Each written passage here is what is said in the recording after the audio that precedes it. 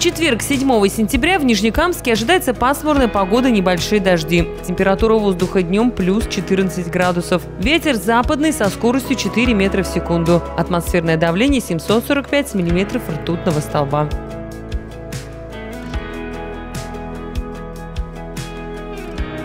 В пятницу ожидается облачная погода с прояснениями.